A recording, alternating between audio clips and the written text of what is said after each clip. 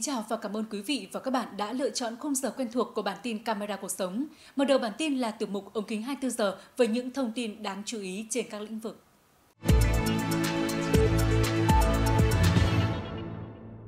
Giáo sứ Thái Nguyên đã tổ chức khánh thành nhà thờ và kỷ niệm 117 năm thành lập. Giáo sứ Thái Nguyên thành lập năm 1903, trực thuộc giáo phận Bắc Ninh. Nhà thờ giáo sứ Thái Nguyên được xây dựng từ năm 1903, sau đó được xây dựng lại vào năm 1985. Ngày 15 tháng 10 năm 2015, giáo sứ Thái Nguyên tiếp tục xây dựng, nâng cấp nhà thờ với kiến trúc mái vòm cong và nổi bật bởi tháp chuông được trang trí bởi những trụ nhọn xung quanh và mái vòm tại chính giữa. Đây là nơi sinh hoạt của khoảng 5.000 tín hữu công giáo, sinh hoạt tại 7 giáo họ trực thuộc. Sở Văn hóa Thể thao Hà Nội vừa đề xuất Ủy ban nhân dân thành phố cho bắn pháo hoa tầm cao trong dịp Tết Dương lịch tại ba điểm là Hồ Hoàn Kiếm, sân vận động quốc gia Mỹ Đình và công viên Thống Nhất. Thời gian bắn là 15 phút, kinh phí cho hoạt động này là từ nguồn xã hội hóa. Căn cứ tình hình dịch COVID-19, Sở Giáo dục Đào tạo Thành phố Hồ Chí Minh đã yêu cầu các trường học trên địa bàn điều chỉnh kế hoạch kiểm tra đánh giá cuối học kỳ 1 phù hợp với tình hình dịch bệnh, thực hiện giãn cách khi tổ chức kiểm tra đánh giá tập trung từ ngày 14 tháng 12 năm 2020 đến ngày 5 tháng 1 năm 2021. Đối với các trường hợp học sinh là đối tượng cách ly sẽ kiểm tra đánh giá cuối kỳ khi hoàn thành cách ly theo quy định. Bộ Kế hoạch và Đầu tư vừa cảnh báo hoạt động cho vay ngang hàng P2P lending của các nước trên thế giới, đặc biệt là từ Trung Quốc tràn sang Việt Nam có thể gây rủi ro. Nhiều nước đang thắt chặt loại hình hoạt động này. Ở Việt Nam hiện chưa có quy định cụ thể đối với hoạt động cho vay ngang hàng. Các công ty hoạt động trong lĩnh vực này đăng ký ngành nghề kinh doanh là dịch vụ cầm đồ, tư vấn tài chính, tư vấn đầu tư với nhiều hoạt động tích cực Tuy nhiên, nếu không được quản lý, giám sát chặt chẽ, có thể phát sinh các loại hình biến tướng, gây ảnh hưởng xấu, đặc biệt có thể gia tăng rủi ro nợ xấu. Chi cục chăn nuôi thú y tỉnh Hà Nam cho biết, trên địa bàn phường Duy Hải, thị xã Duy Tiên đã xuất hiện bệnh viêm da nổi cục trên châu bò. Hiện cơ quan chuyên môn đã tiêu hủy hai con bò bị bệnh, đồng thời khoanh vùng xử lý môi trường khu vực xuất hiện bệnh và các khu vực nghi ngờ. Chính quyền địa phương đã thành lập các chốt kiểm soát, kiểm tra, ngăn chặn việc vận chuyển châu bò và sản phẩm châu bò ra vào khu vực có dịch và triển khai nhiều biện pháp phòng dịch khác. Mới đây, trên mạng xã hội Giao thông 91 đã đăng tải tình huống giao thông nguy hiểm khi một chiếc xe ben đi tốc độ cao, lấn làn, vượt ẩu khiến xe ô tô đi theo chiều ngược lại phải phanh gấp và tài xế đi đúng làn đường đã phải lùi để chiếc xe lấn làn kia đi. Nhiều ý kiến bức xúc và cho rằng tình huống này rất nguy hiểm cho các phương tiện khác cùng lưu thông. Công an thành phố Thủ Dầu Một, tỉnh Bình Dương đã tạm giữ Lê Tấn Thành, đối tượng đã hành hung một nữ sinh sau khi xảy ra va chạm giao thông. Trích xuất hình ảnh từ camera an ninh của hộ dân trong khu vực cho thấy Lê Tấn Thành điều khiển xe máy chở theo một phụ nữ. Thành đã bất ngờ rẽ trái khiến hai học sinh nữ đi phía sau đâm vào đuôi xe của Thành. Sự việc xảy ra, đối tượng Thành đã không giúp đỡ nạn nhân mà còn tấn công nữ sinh điều khiển xe đạp điện một cách dã man, bất chấp sự ngăn cản của người dân. Hiện lực lượng chức năng đang xử lý vụ việc theo quy định.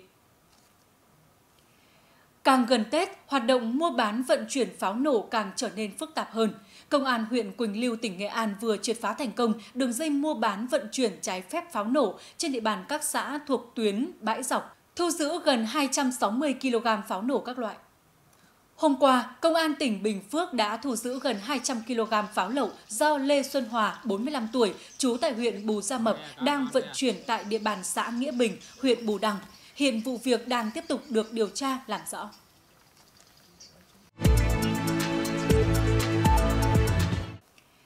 Tự chủ tài chính được xem là chính sách cởi trói cho các đơn vị y tế công lập, thoát khỏi cảnh trông chờ ỉ lại vào ngân sách nhà nước từng bước chủ động nâng cao chất lượng khám chữa bệnh.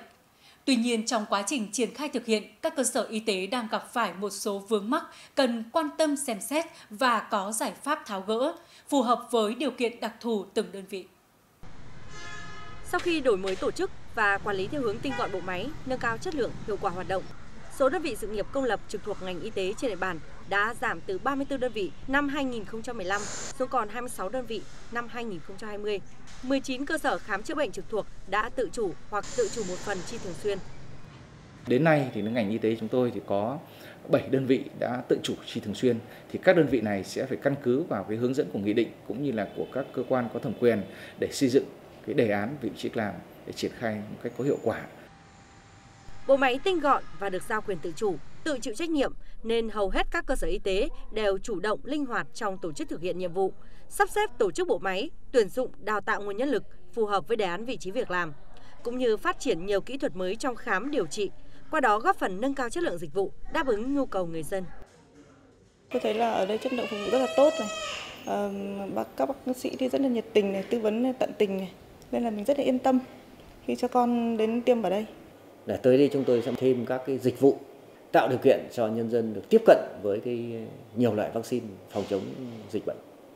Thế rồi à, mở thêm các cái uh, kỹ thuật trong cái mô hình của cái khoa xét nghiệm cũng là một trong những cái mà có thể tăng cường cái nguồn thu do này đảm bảo một phần cái chi phí. Mặc dù đã đạt được một số kết quả bước đầu, tuy nhiên thực tế cho thấy việc thực hiện tự chủ đối với bệnh viện tuyến huyện, đặc biệt là khu vực miền núi, vùng sâu, vùng xa gặp rất nhiều khó khăn. Các đơn vị y tế trên địa bàn huyện là thực hiện công tác phòng chống dịch. Thứ hai nữa, hệ bệnh viện là cái hệ mà khám chữa bệnh bản chất là cho người nghèo và những người có thu nhập thấp. Vậy thì tự chủ cũng nên, phân tuyến, phân cấp, nên có những tính toán cho nó cụ thể. Nhằm tăng hiệu quả thực hiện tự chủ tài chính ngành y tế, nhiều ý kiến cũng đề xuất cần có cơ chế chi trả tiền lương đối với các bệnh viện tự chủ 100% kinh phí hoạt động. Cụ thể, cần giao quyền tự chủ cho các giám đốc bệnh viện trong việc chi trả tiền lương, thu nhập để có thể khuyến khích và giữ được các bác sĩ giỏi và cán bộ có năng lực.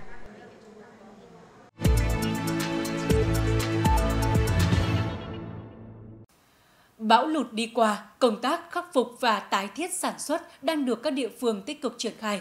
Bên cạnh sự hỗ trợ của chính phủ và cấp ủy chính quyền các địa phương, Hội chăn nuôi thú y tỉnh Thái Nguyên đã có những hoạt động thiết thực hỗ trợ người dân miền Trung bị ảnh hưởng bởi bão lũ khắc phục sản xuất.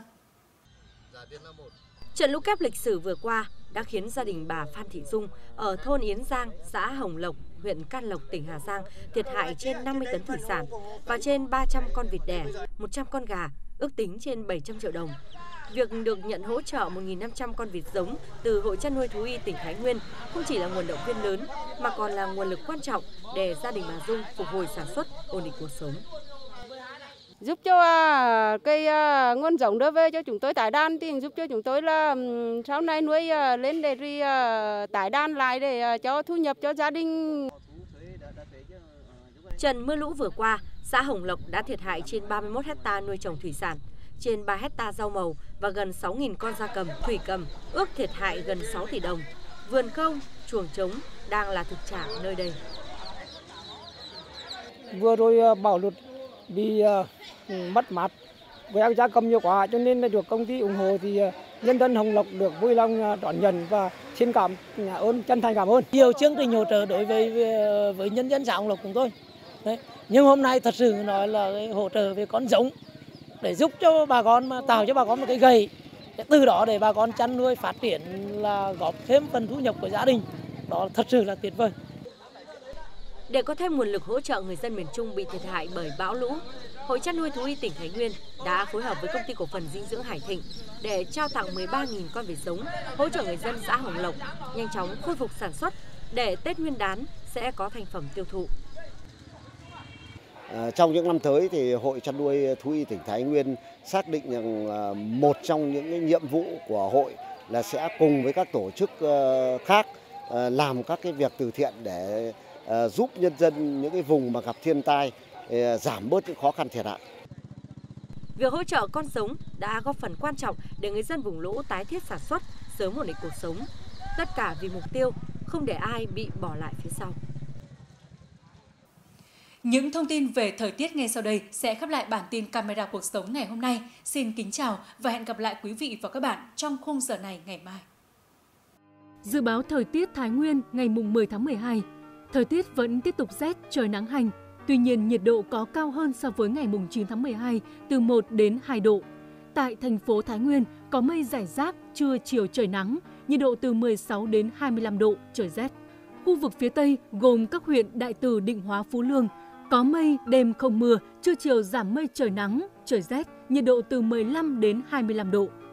Khu vực phía Nam gồm huyện Phú Bình, thành phố Sông Công, thị xã Phổ Yên. Ít mây, ngày trời nắng hanh, đêm không mưa, nhiệt độ từ 16 đến 25 độ, trời rét.